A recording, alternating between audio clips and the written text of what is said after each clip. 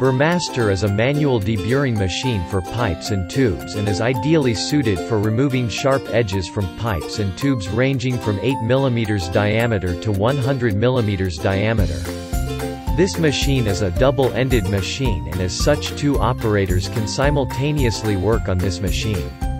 Both sides are equipped with tools for deburring ID as well OD of the tube. Tools are made of high-speed steel ensuring long life and quality of deburring.